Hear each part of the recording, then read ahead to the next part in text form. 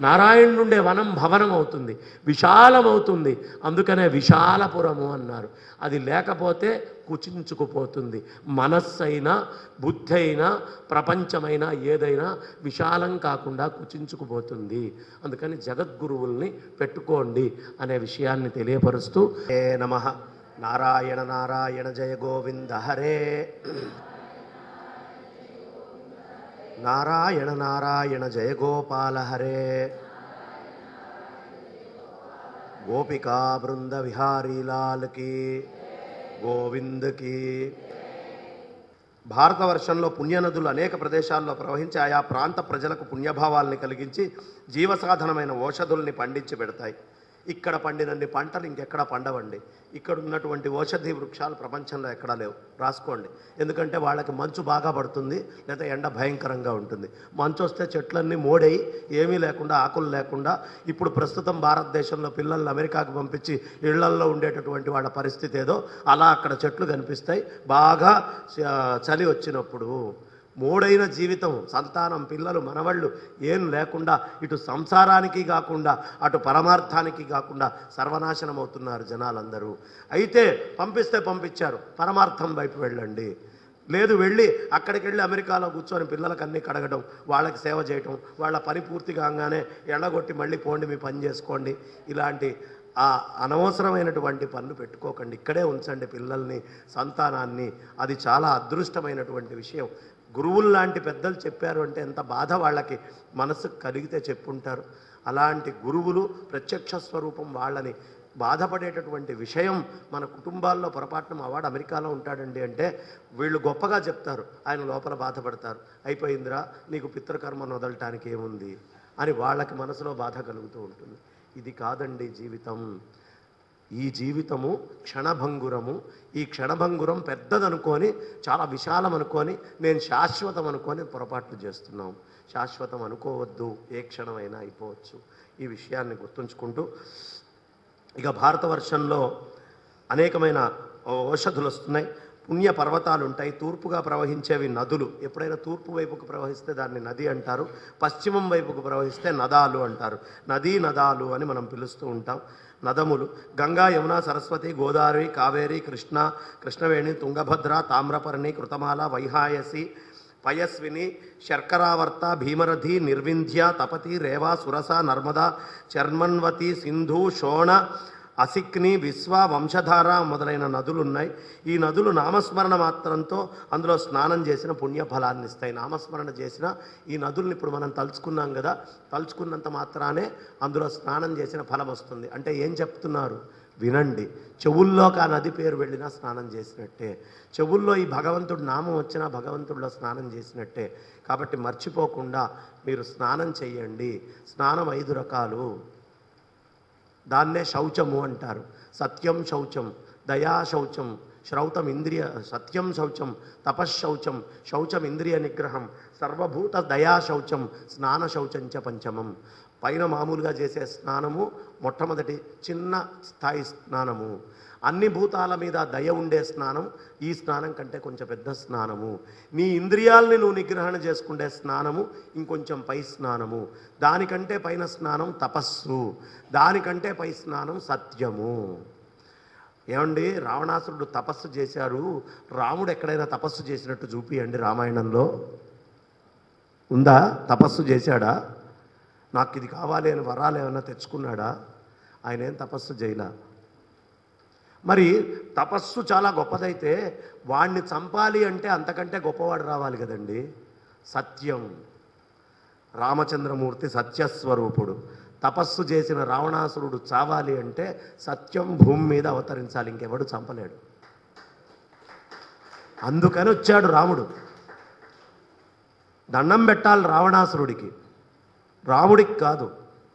వాడొచ్చి అనంతమైన అవతారాన్ని భూమి మీదకి దింపి మనకి ధర్మాలను నేర్పించాడు. వాడిలాగా ఉండకూడదు అని కూడా నేర్పించాడు. రెండు బోధలు చేశాడు వాడు. కాబట్టి వాడిని తిట్టక్కర్లా. వాడి వల్ల మనకి మేలు జరిగింది. వాడి పాపం భగవంతుడు వాడు అనుభవించేట్టు చేశాడు. వాడు నేనెందుకు తిట్టాలి? కాబట్టి చాలా అనుగ్రహం అనేటటువంటిది ఈ భరతవర్షానికి ఉంది. దేవతలందరూ ఇక్కడే పుడతారండి. దేవతా అవతారాలు ఇక్కడికే వస్తాయి. గురువుల అవతారాలు ఇక్కడికే వస్తాయి. ఎందుకు ఎన్నుకుంటున్నాయి? అనంతమైనటువంటి బ్రహ్మాండాల్లో ఈ కొద్ది భాగాన్నే భగవంతుడు ఎన్నుకుంటున్నాడు అంటే ఇది ఎంత గొప్ప భూమి అయితే పరమాత్మ తాను సారూప్యంగా కనిపించడానికి ఇది నివాస స్థానం అనుకుంటున్నాడు. అంత గొప్ప భూమిని వదిలిపెట్టి పరమాత్మ ఉద్భవించడానికి కూడా ఇష్టపడినటువంటి ప్రదేశాలకు వెళ్తున్నారే మీ హృదయాల్లో పరమాత్మ ఎక్కడి నుంచి ఉద్భవిస్తాడు అక్కడ ఉంటే? ఆయన పుట్టాడు. ఆయన పుట్టాలంటే ఈ భూమిలో ఉండాలి. ఇక్కడ నారాయణుణ్ణి ధ్యానం చేయాలి. ఇక కొంతమంది వచ్చారు పాషండులు ఇవాళ రేపు. శివుడు దేవుడు కాదండి. విష్ణువు దేవుడు కాదండి. శక్తి దేవత కాదండి. నువ్వెవడివిరా కాదంటానికి? నీ స్థాయి అంతా వాళ్ళు పరస్పరం గౌరవించుకుంటూ ఉంటే ఒకళ్ళని చూపించాలంటే ఇంకొకళ్ళు కావాలి అనుకుంటుంటే పరబ్రహ్మతత్వం విష్ణువన్ను అనుకుంటే శివుడి ద్వారా వెళ్ళు. పరబ్రహ్మ వస్తువు పర విష్ణువన్ను అనుకుంటే శివుడి ద్వారా వెళ్ళు. శివుడన్ను అనుకుంటే విష్ణువు ద్వారా వెళ్ళు. నిరాకారమైనటువంటిది ఒకటే. గంగలో ఆరు ఘట్టాలు ఉన్నాయి ఈ ఆరు ఘట్టాలకి నువ్వు ఒకడొస్తాడు ఈ ఘట్టం గొప్పదండి మణికర్ణిక. అది హరిశ్చంద్రుడు వచ్చిందండి హరిశ్చంద్ర ఘాట్. ఇక్కడ దశాశ్వమేధ యాగం చేశాడండి బ్రహ్మ ఇది గొప్పది అని రకరకాలుగా ఆ ఘట్టాల పేర్లు చెప్తారు. ఈ ఘట్టం గొప్పదండి ఈ ఘాటు గొప్పదండి అంటారు. మనం కూడా ఏ ఘాటు గొప్పది ఏ ఘాటు గొప్పది అని వెతుక్కుంటూ వెళ్తాం.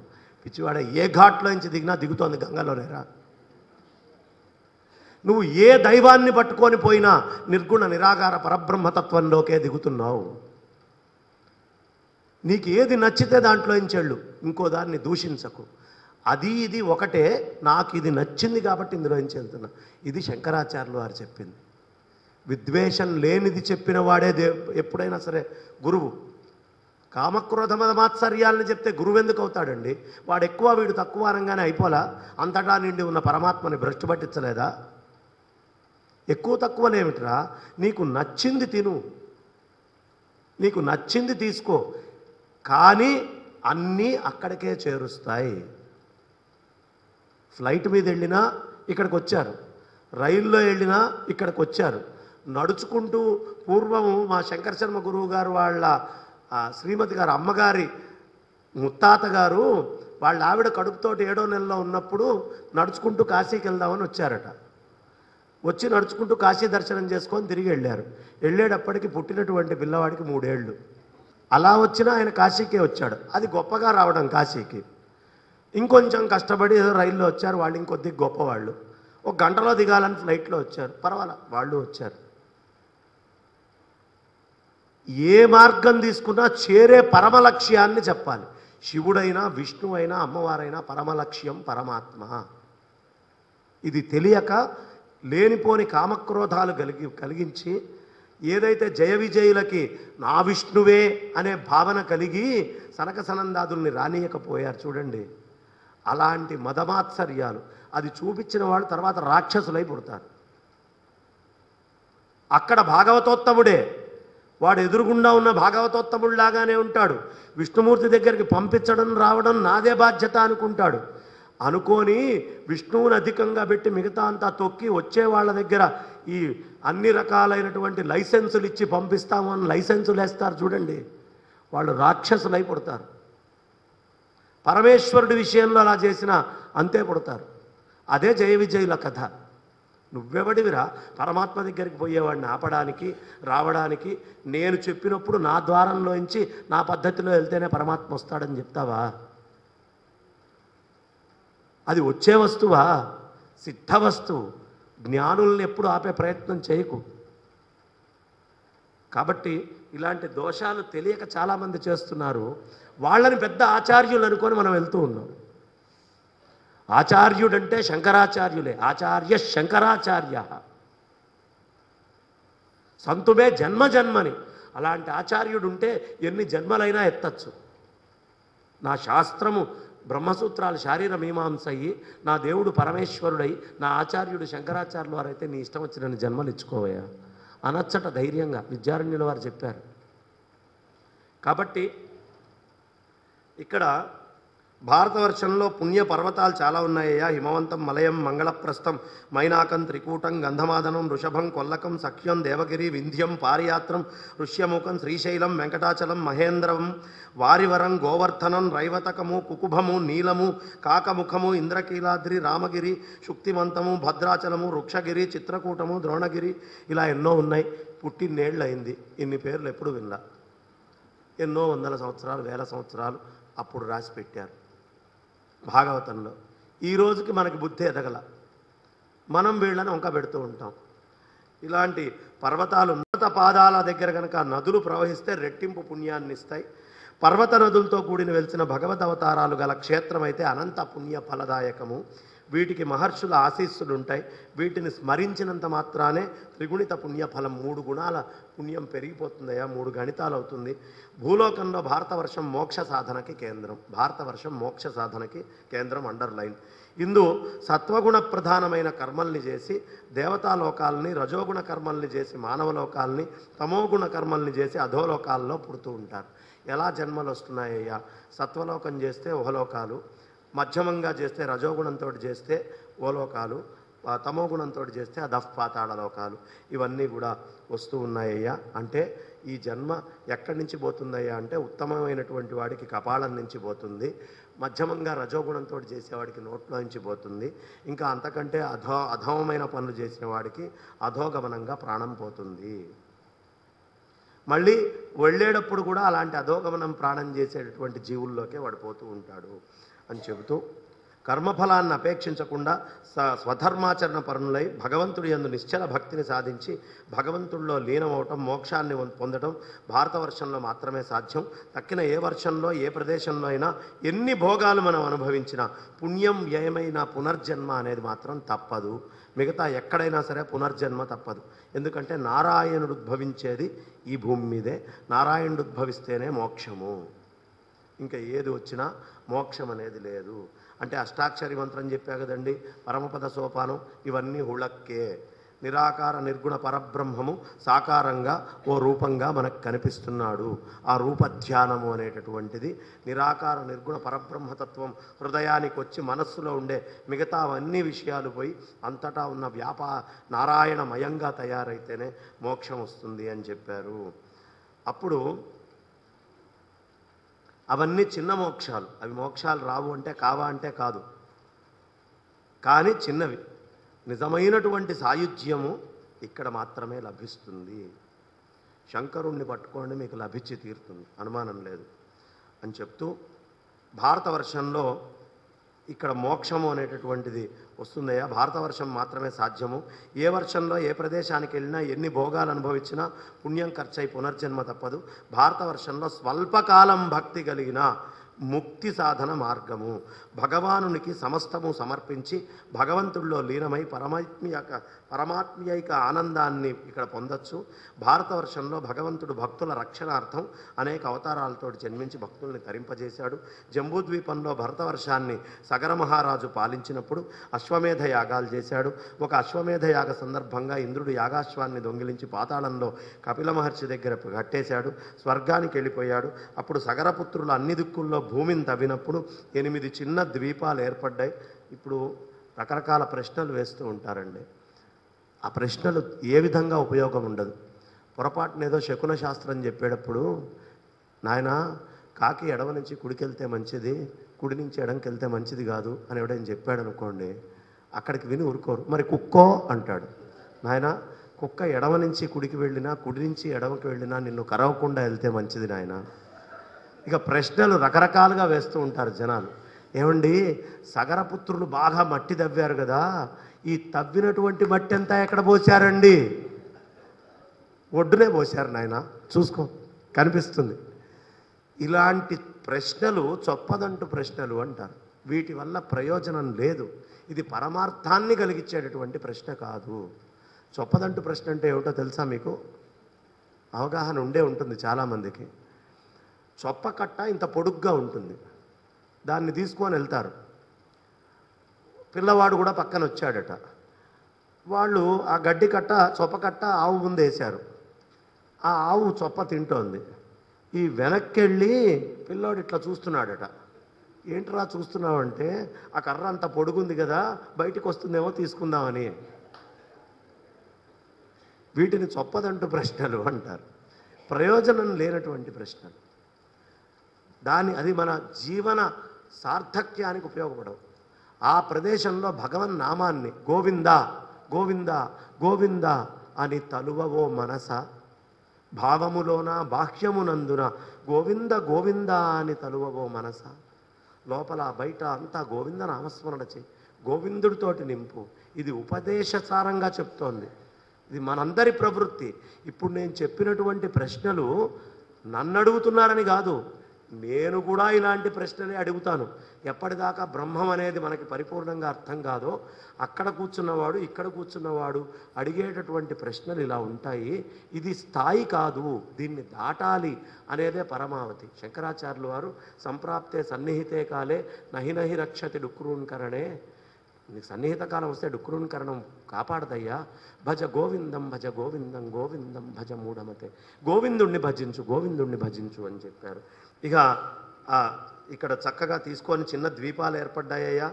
వాటి పేర్లు స్వర్గప్రస్థము చంద్రశుక్లము ఆవర్తనము రమణకము మందేహారుణము పాంజజన్యము సింహళము లంక అనేవి. ఇందులో మిగతావి తెలుసు. ఈ మందేహారుణము అనేటటువంటిది ఏమిటయ్యా అంటే రోజు పొద్దున్నే ఈ భారతదేశంలో బ్రాహ్మణులు ఉండాలి వాళ్ళు అర్ఘ్యప్రదానం చెయ్యాలి అని మనస్ఫూర్తిగా కోరుకోవాలి. కారణం ఏమిటంటే ఈ మందేహారుణ ద్వీపంలో ఉండే రాక్షసులే సూర్యనారాయణమూర్తి మీదకి వెళ్ళి వాళ్ళు దాడి చేసి ఆయనని మొత్తం ఇబ్బంది పెడదామనే ప్రయత్నం చేస్తారు. వాళ్ళు వదిలిపెట్టేటటువంటి అర్ఘ్యాలతో వీళ్ళు వెనక్కి వెళ్ళిపోతారు అయితే బ్రహ్మవేత్తలు మరి ఉపవీతం చేసుకోనని అన్నాడు కదండి. ఎవరు? శుకులవారు. నాకెందుకయ్యా సంస్కారాలు? అంటే మరి అప్పుడు ఆయన నీళ్ళు పోయకపోతే ఈ సూర్యనారాయణమూర్తికి వీళ్ళు ఇబ్బంది కదా అంటే? ఆయనకి సంధ్య లేదు కదయ్యా. సంధ్య అంటే జ్ఞానానికి అజ్ఞానానికి మధ్యలో కొట్టుమిట్టాడే పరిస్థితి. ఆ జ్ఞాన అజ్ఞానాల మధ్యలో కొట్టుమిట్టేవాడికి మనస్సు దేహము మన్ దేహ అరుణము చేసేటటువంటి ఓ పర్వతం ఉంటుందయ్యా. దాని మీద రాక్షసులు ఉన్నారు ఈ రాక్షసులు నీలో వచ్చి జ్ఞాన సూర్యుడు పొరపాటున ఆ మనస్సుకి దేహానికి ఏమైనా ఇస్తాడేమో అని దాడి చేస్తూ ఉంటారు. ఈ అర్ఘ్యప్రదానాలు గాయత్రితోటి చెబితే బుద్ధి వివర్ధనమై గాయత్రి ఏమిటి చేసేది? ధియోయోన ప్రచోదయాత్. ఆ బుద్ధిని ప్రచోదనం చేస్తుంది. తద్వారా ఈ మనస్సు దేహం మీద ఉండేటటువంటి రాక్షసులు కాస్త వాళ్ళు పక్కకి వెళ్తారు ఆయనకి సంధ్య లేదు కదా అజ్ఞానం ఉంటే కదా కాబట్టి అది వాళ్ళకి కాదయ్యా అని చెప్పారు. అందుకనే జ్ఞానానికి అజ్ఞానానికి మధ్యలో ఉండేటటువంటి రక్ష ఏమిటయ్యా? సూర్యనారాయణమూర్తి ఆయన్నే వస్త్రంగా చెప్పుకున్నాం. సంధ్యలని ఏంగా చెప్పుకున్నాం? వస్త్రంగా చెప్పుకున్నాం. శృంగేరిలో విద్యాశంకర స్వామి వారి క్షేత్రం ఉంది. మీరు చూడండి వృద్ధ శంకరుడు ఆయన. అక్కడ విద్యారణ్య స్వామి వారు అద్భుతమైన గుడి కట్టారు. ఆ గుళ్ళో రెండుసార్లు సూర్యనారాయణమూర్తి యొక్క ఇది పూర్తిగా వెళ్ళి ఆ స్వామివారి మీద దక్షిణాయనంలో ఒకసారి ఉత్తరాయణంలో ఒకసారి అరుణవర్ణంలో అంటే కాషాయ వస్త్రాలు వేసుకుంటే ఎలాంటి ఇది ఉంటుందో అదే వర్ణంలో వచ్చేటటువంటి రంగు వెళ్ళి శివలింగాల మీద పడుతుంది. మార్చ్ ఇరవై ఒకటో తారీఖు మీరు కనుక వెళ్తే ఈ ఘట్టం మిగతా రోజుల్లో వెళ్ళదు. ఆయన గురువు గారికి శివలింగం పెట్టి ప్రతి సంవత్సరం ఆయన లేకపోయినా ఈ సూర్యనారాయణమూర్తి కిరణాలు అనేటటువంటి అది తీసుకొని వెళ్ళి వస్త్రాలు సమర్పిస్తున్నారు ఇప్పటికి విద్యారణ్య స్వామి వారు శృంగేరిలో. ఎంత జ్యోతిష శాస్త్రం తెలిసిన మహానుభావుడండి ఆయన. హంపీలో కట్టిన గుళ్ళు చూస్తే ఆశ్చర్యం వేస్తుంది. గెలి ఆయన గెలీలియో టెలిస్కోప్ కనుక్కోక ముందు పుట్టినవాడు కదా.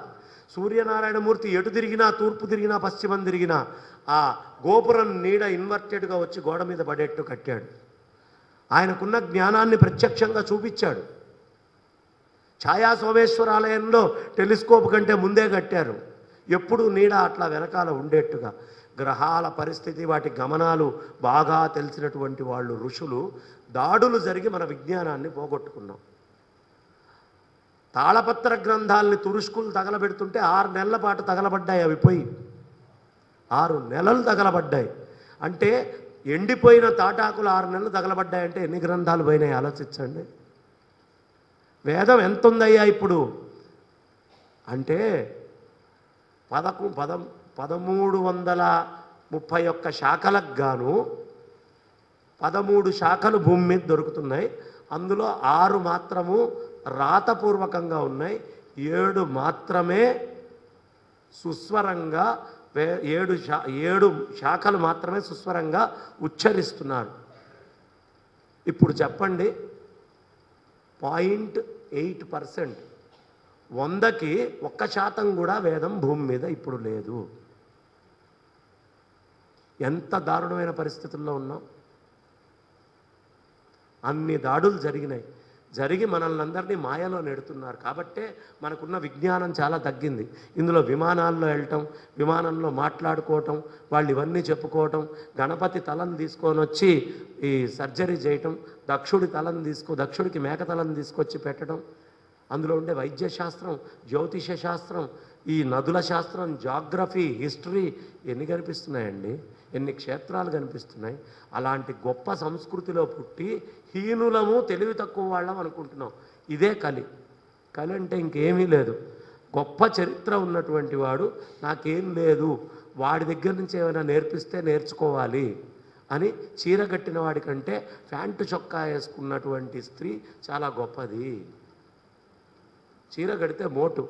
ఈ చీరలో కూడా గోచీ పెట్టి కట్టారనుకోండి అబ్బెబ్బే వాళ్ళు ఇంకా ఎప్పటి వాళ్ళండి? మోటు.